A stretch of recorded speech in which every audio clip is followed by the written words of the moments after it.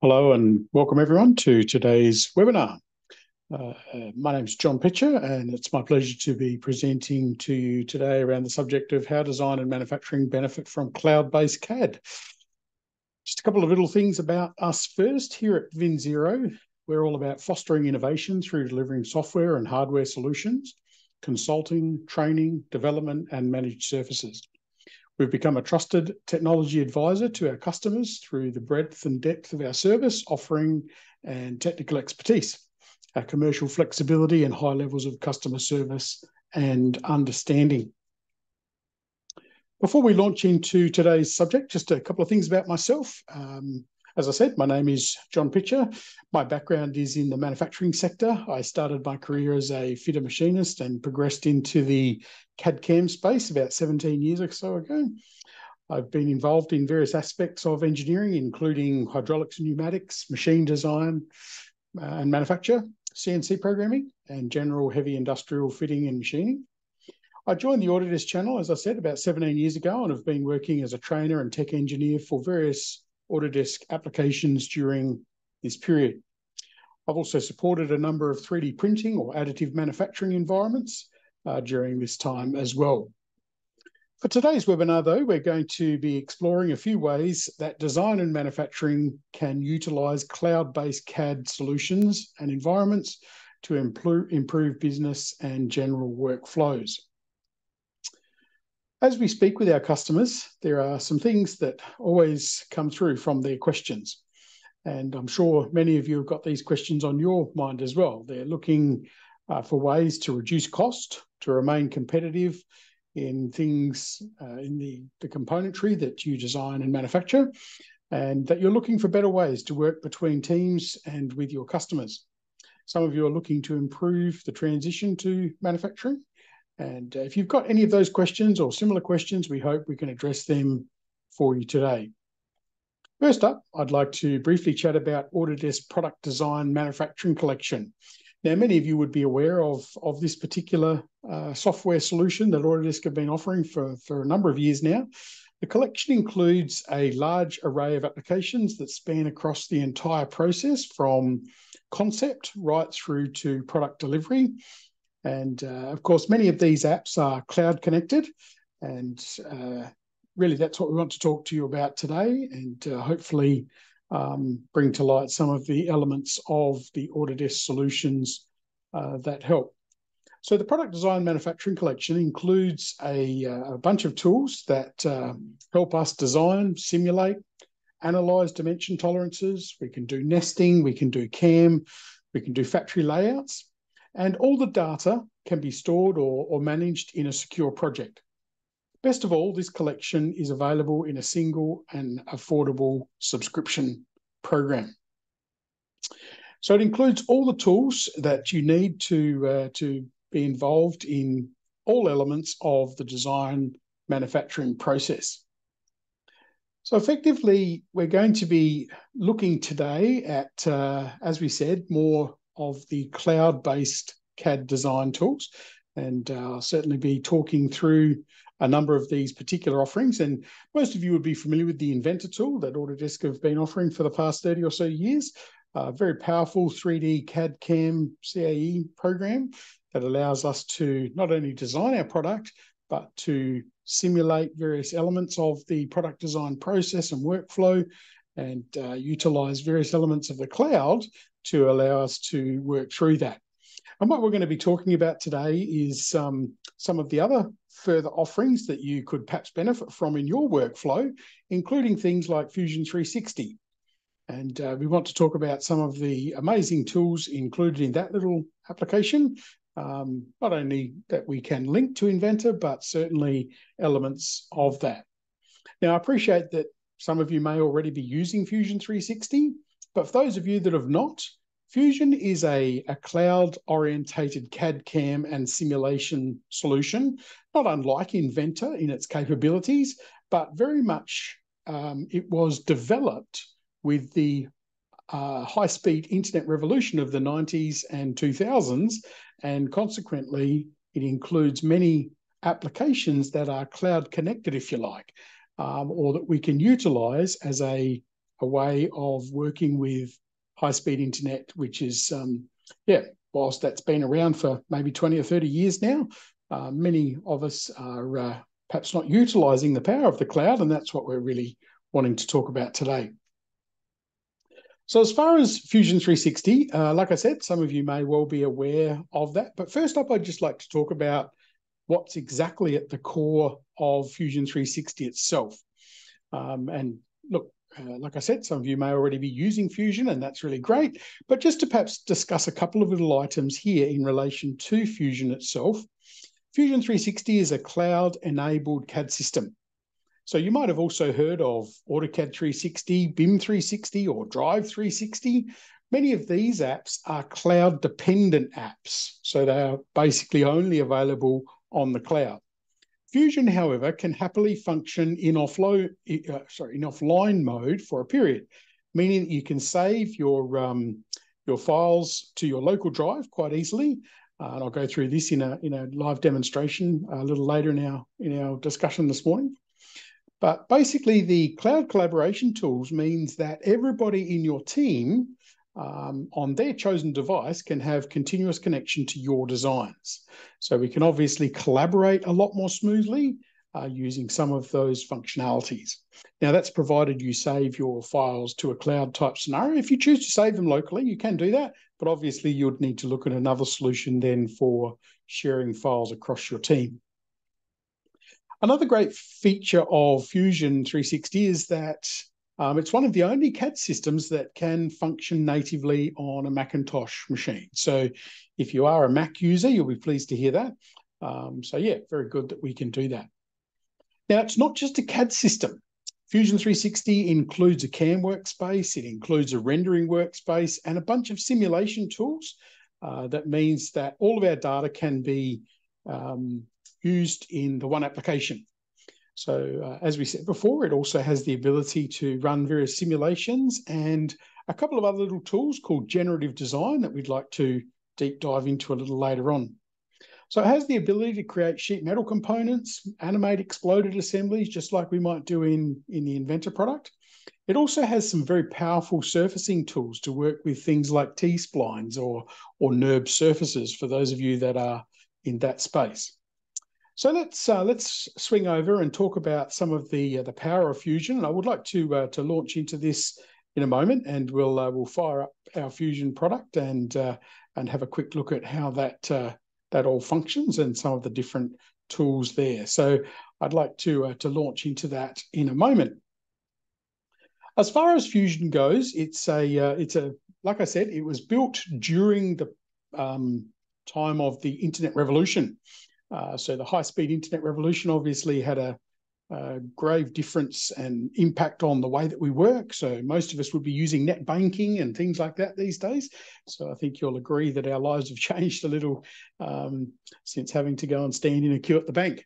So uh, the same applies for manufacturing. And uh, really, Fusion, like I said, was built from the ground up with this cloud sort of logic um, uh, as part of the workflow and uh, for utilizing the various elements of cloud computing and uh, the various tools for that. So let's talk a little bit more about some of those uh, capabilities. And um, I've just got a couple more slides on this and then we'll jump into our demonstration. So Fusion gives you the ability to create your concepts and uh, look at those complex design processes with ease. We've got flexibility between parametric and freeform design. So we've got some very, very powerful interactions there. Uh, we can look at things like aesthetics and ergonomics and uh, how that's actually going to be uh, achieved and uh, the various elements of modeling flexibility with things like push-pull gestures and uh, all of your sort of fairly traditional functionality for working with that. So flexible um, modeling and uh, some of the different approaches to 3D modeling make it easier to focus on the task at hand and not so much how you're actually going to achieve that task. So I guess it's helpful to make a, a change to a product and know that it isn't going to affect other features. And, uh, you know, editing that geometry can be done directly um, using push-pull, as I said, or some of the other tools. We can also access other tools to edit and repair imported scans or mesh models. So things like STL files or OBJ files might be something that you are frequently faced with. I mentioned generative design. Now, this is a, a very much a cloud-based uh, CAD tool that um, that we can uh, look at utilizing as far as working within our CAD and CAM and manufacturing type environment. So generative design uh, again really came to uh, to the fore when we talked about uh, things like additive manufacturing. When we look at 3D printing componentry, obviously um, this is something that's a an emerging technology, but we're seeing a lot of development in uh, in many of those spaces. So this is something that's quite unique to Fusion 360 and the Autodesk application. So rather than manually modeling uh, a component, what we can do is uh, give the software certain parameters, and then it will basically model the geometry that we might uh, uh, like to, to sort of see as a default system. What we do then is we apply certain constraints. So we apply parameters to our model. Uh, we apply things like um, uh, areas where we wish to attach the model to a another component maybe, um, and and also areas where we uh, know there is an obstacle, so we need to avoid certain areas, and then we look apply loads to our to our model to come up with the uh, the correct um, uh, form and function for that particular component, and then we run it through a generative design uh, computer iteration tool that basically gives us a series of uh, iterations of our component that we can choose from. So we can look at the different uh, models, as you can see there on the screen. Uh, we can look at the different ways that we could manufacture this part. Again, it will be dependent on uh, the type of material that's available, the type of material we're actually utilizing, and the software can do that. So it can go through and do a test for us and um, maybe we want to reduce the weight of a particular component. Obviously, for, for uh, industries like aerospace or um, anything in that nature, very keen to, uh, to reduce any excess material from a weight perspective. Um, so yeah, there's uh, different things we can look at and study in relation to that. In the end, then we can um, select uh, the, the preferred option and uh, obviously go forward with our manufacturing process there, whether it be on a, a CNC machine, a two, three, four, five axis CNC machine, or whether we wish to utilize a 3D print device.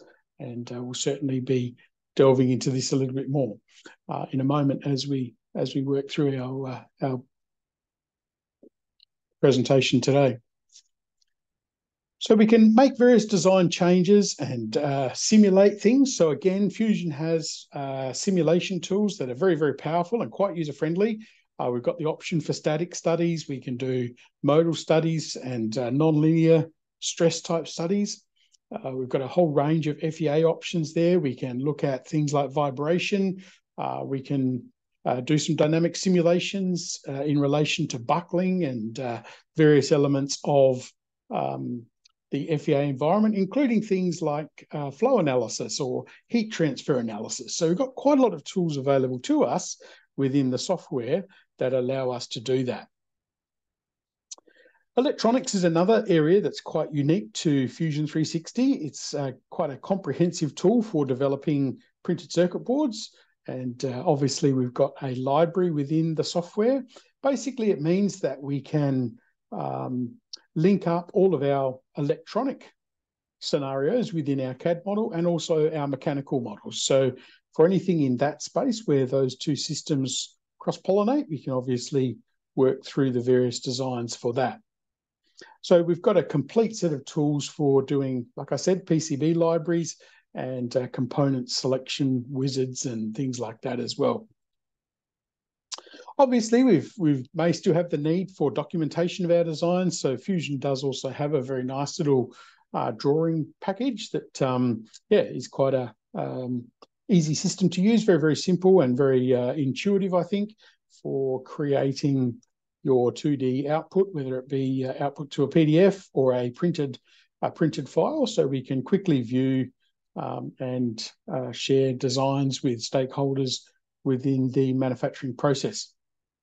Of course, all of these things are associative. So if a, an element changes within the design, obviously our 2D drawing will update accordingly, uh, as would our assembly or our exploded view of that particular file.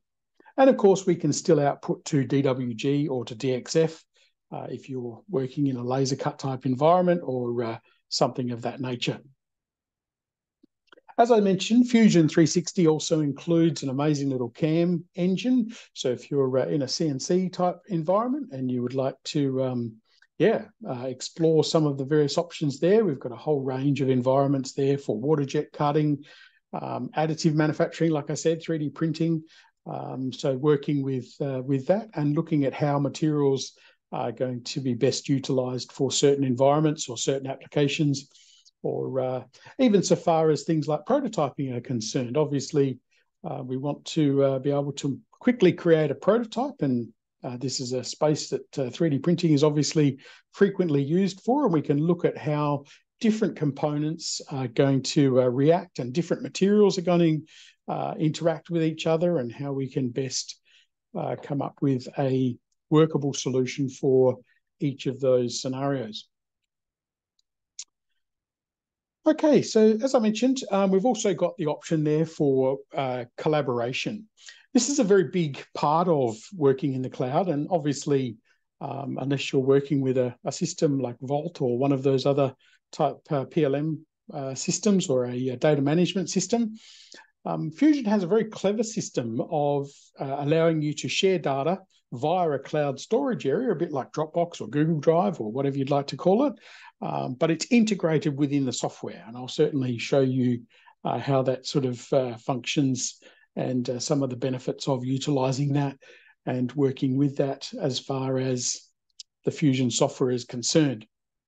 As I mentioned, uh, we've also got a, a, photorealistic rendering option, so we can go through and um, do some rendering. Now, this is another tool that is uh, available to upload to a cloud processor uh, meaning that Autodesk have got a bunch of servers and effectively, uh, if we've modeled a, a, motorcycle or whatever it might be that we're working on, we can obviously uh, upload that to upload that process uh, to a cloud server and uh, have the render take place on an Autodesk server rather than uh, locking down your local processor.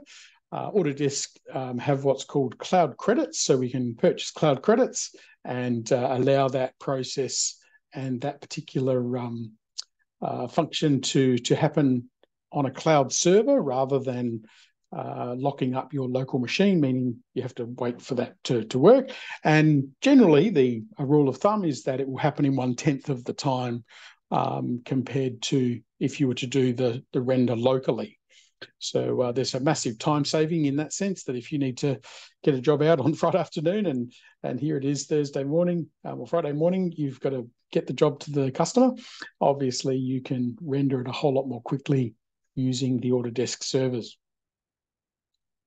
So Fusion 360, as I said, is uh, is a very clever system. It uh, allows us to work with a whole range of different formats. So we can import files from Creo or SolidWorks or Solid Edge or step files, um, pretty much any type of CAD system we can import into Fusion 360 and carry on working with our downstream uh, scenarios and uh, how we would like to uh, to see that function.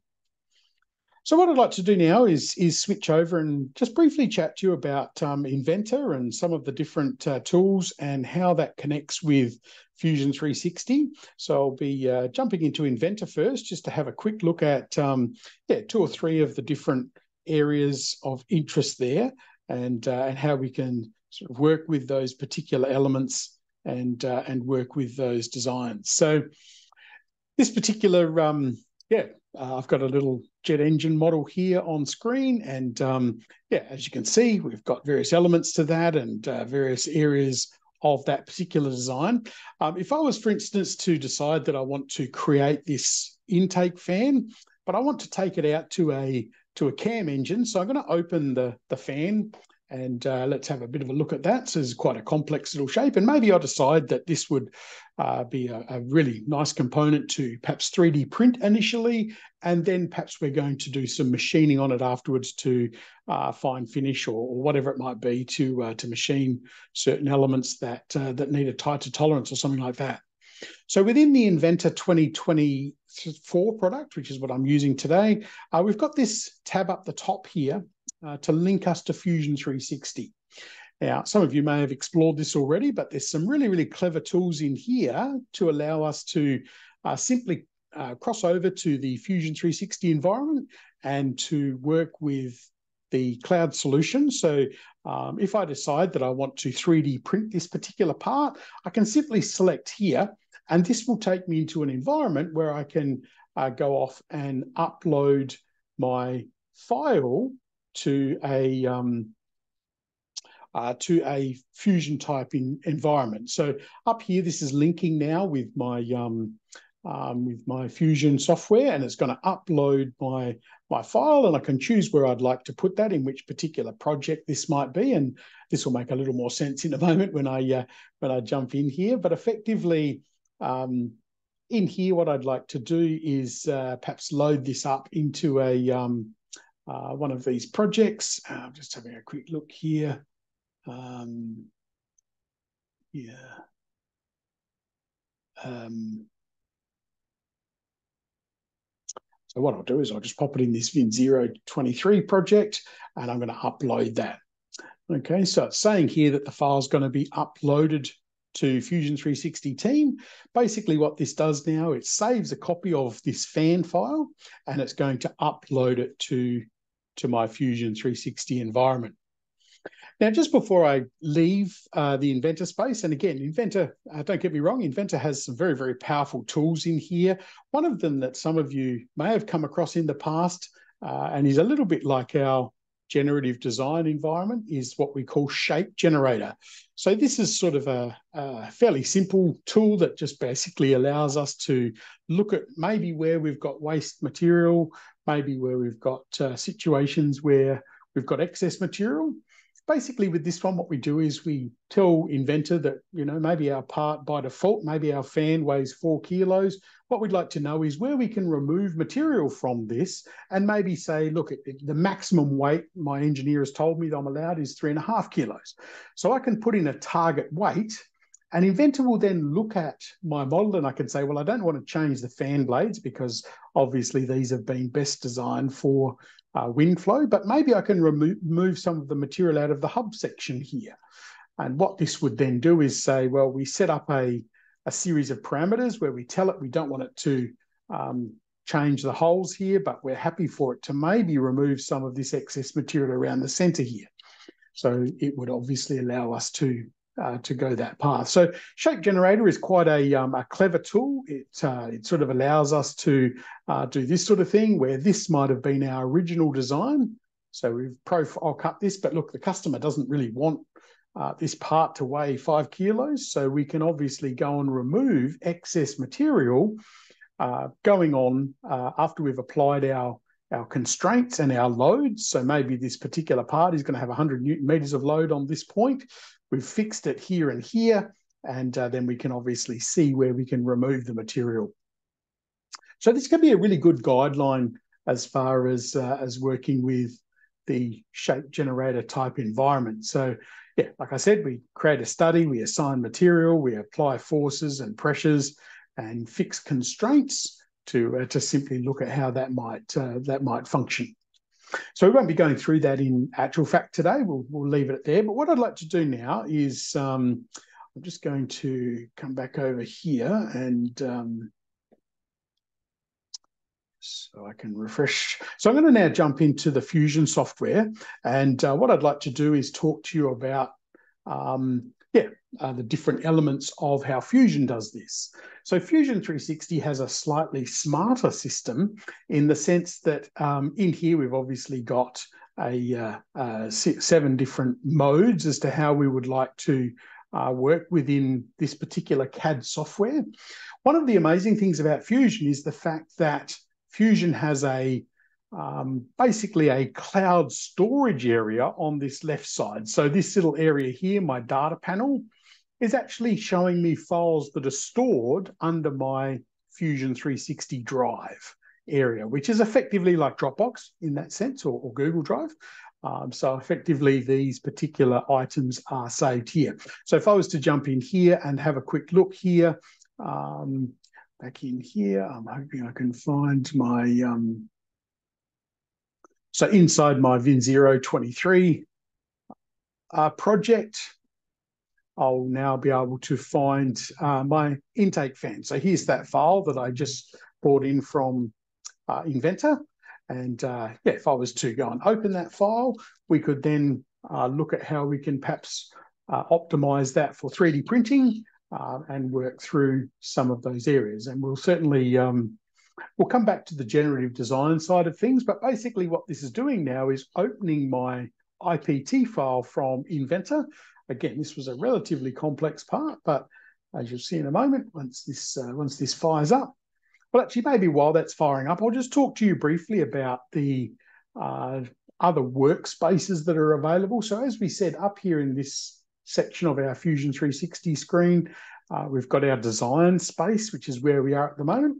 So there's our uh, there's our um, fan for our uh, our little uh, jet engine that we looked at in Inventor. And effectively now, if I wanted to go through a process and, and look at how this was going to be able to be 3D printed, in actual fact, up here we've got a, uh, a 3D print option. Uh, but we can go in here and set up materials. We can look at uh, different uh, different areas of that. And basically, when we select this, we've got the option to output uh, this file ready for 3D printing. And uh, we can pick the format here, whether it be a 3MF, an STL, or an OBJ type file, which are the four main 3D print files. And then if we want to launch into a particular 3D printing utility, which in this case is, uh, I've got an option of Preform or Cura here, um, which are two slicing softwares that allow us to move into the 3D printing space. Anyway, we won't go too much further with that one, but I, I think you get the idea that we can quite quickly interact with uh, Fusion Inventor to utilize some of the cloud tools that are available inside of the Fusion 360 application. So as I mentioned, um, in this area here, we've got these five different environments, if you like, that are available to us. Um, maybe if we just take these from top to bottom. So design is where we're going to uh, do our various design modifications and creation processes. So uh, we've got a bunch of options in there. This particular one is the one that I was talking about earlier, where we've got uh, what we call generative design. Now, effectively with this particular scenario, if we enter this environment and uh, sort of look at how this particular part might be made. So this particular clevis, which uh, perhaps is a, a type of shape that might sit on the end of a hydraulic cylinder or on a excavator arm or something like that. So we can fix uh, one end to the uh, the excavator arm, maybe via these four bolts, and then we would normally have like a yoke arrangement on this section here. But effectively, with generative design, what we can actually do is we can take um, invent take a file and apply loads and areas where we wish to preserve. So what we can do is set up this sort of an environment. So if you can imagine, here's our four bolt down holes for our clevis, and here's our um, our mounting hole. Basically, what we do is we say, well, I don't, I know my clevis needs to have uh, this space here. Can't be, uh, this would have to be an obstacle because maybe my hydraulic ram rotates around that particular component. So we need to have that. And then effectively we can go and tell um, Fusion that that's the parameters. We can then tell it that we've got 500 newton meters of load pulling on this to operate our uh, our excavator arm or whatever this particular component might be. So when we go forward with the process for generative design, what, what the software does, it uploads a copy of our Clevis to a system where it goes and generates a series of outcomes. So as you can see here, we've got a total of 12 outcomes, and we can go and select from any of these outcomes to actually say, well, this one here particularly suits my workflow. Uh, I like this design and it's going to work okay. Uh, so therefore, I want to be able to um, utilize that particular shape. So effectively, when we look at how our clevis was maybe designed in the last 50 years, um, also, this is this would be a very traditional design. Moving forward, this is the type of product that Fusion is going to output and say, well, if you wish to utilize 3D printing to maybe do a prototype for one of these, this is perhaps how your part is going to look. And we actually did 3D print this um, here in Adelaide. We've got a, uh, a little uh, Markforged printer set up where we were able to print this actually in stainless steel. So we did print a final result and um, yeah, that particular part uh, was uh, was able to be um, generated and uh, yeah, came out with quite a good result. So as you can see, if uh, and I'm not sure you might have seen this before, this was the physical file that was generated using the generative design process, if you like. And again, I know most of you are going to look at this and say, wow, you know, that's going to take a lot to machine all these little areas. But I guess it's um uh, it's a it's a scenario that we can choose to utilize or uh, or ignore, if you like, as far as whether the physical model needs to actually be of that shape or not is, I guess, open to conjecture, but that's going to give you the same strength as this particular part here. And I believe from memory, it was a 60% weight saving. So we managed to reduce by even just cutting out these sections here, which were irrelevant to the actual uh, form and function of the model. So um, yeah, quite a uh, an interesting uh, example of how we might utilize that. Now, obviously, this has been happening in aerospace, and uh, so companies like NASA have been using this for many, many years. But now, because of uh, the nature of software and how things are moving forward with design and those workflows, we're finding now that the automotive industry, again, are utilizing this functionality. So here's a classic example of a uh, a seatbelt bracket from a General Motors vehicle uh, that Autodesk were involved in um, collaborating on. Basically, the component on the left was made from eight individual pressed metal brackets that were uh, fabricated and uh, attached together using various methods of welding and uh, bolting together, etc., etc. and effectively, the cost was X, Y, Z, and what uh, what the engineers at General Motors said, well, these are the parameters. So effectively, they ran this through the Autodesk application. They came up with a part that was 40% lighter, 20% stronger. Now, admittedly, in today's terminology, that particular part might cost a whole um, lot more to make in mass production. But at the end of the day, the, the concept was that they were able to choose from a series of iterations and look at how that might work. So again, uh, as we move towards more lean environments and uh, less waste and uh, a lot of those sort of functionalities, uh, we've got various options to uh, to work with that. So generative design, if you like, is a um, is a technology that will help us to explore uh, various ideas and uh, look at how we can perhaps use that. Again, we can choose to use a server solution for this, where basically, um, yeah, very large uh, servers will do the number crunching for us and uh, work through the processing of those particular elements. So I hope that uh, that helps. Um, I want to play uh, as a uh, concluding thought, um, just a a little uh, example which might look a little bit futuristic to you, but um, I guess um, yeah, these are these are the options that we've got now as far as working with that. So this example is a um, is an example of a motorcycle, as you can see. And uh, what I'd like to just do is play this through. Uh, hopefully everything will go correctly here and uh, this will all work correctly. But effectively, generative design is a scenario where we look at uh, a number of parameters. So in this case, obviously, we've got a, a swing arm on a motorcycle that we're going to make. And effectively, when we look at this, the concept is that we set up regions of attachment. So we look at the areas that we're going to preserve, if you like, or where our swing arm is going to attach to our motorcycle. Then we look at the obstacles. So we've got the rear tire, obviously, the drive chain, the gearbox, etc., etc. And then we apply a load to the back wheel and say, well, this, this back wheel is going to take so many newton meters of force. What the software then does is spits out a whole assortment of iterations of different options for us that we can utilize from an engineering perspective. We can then narrow that down and look at potentially, uh, you know, the most uh, rigid design. We can look at the design that is perhaps, um, you know, the, the most um, the most cost effective. We can look at the most the least mass, if you like. Um, and again, I realize this is a rather futuristic looking thing, but uh, that's the concept that we can utilize as far as design software is available now.